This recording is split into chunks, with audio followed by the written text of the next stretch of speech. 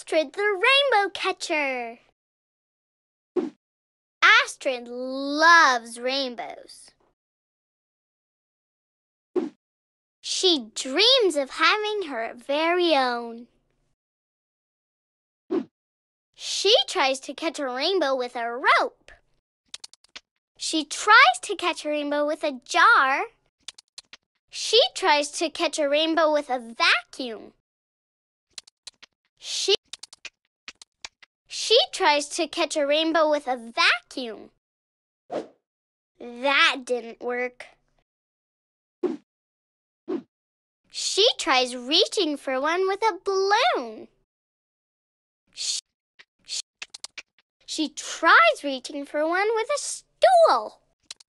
She tries reaching for one with a giraffe. She tries reaching for one with a balloon. That didn't work. She tries using a net. She tries using a robot arm.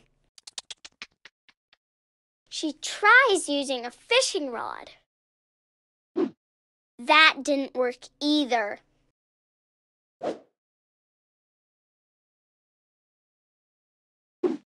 Surprise! A rainbow hug! Astrid loves Rainbow. And Rainbow loves Astrid.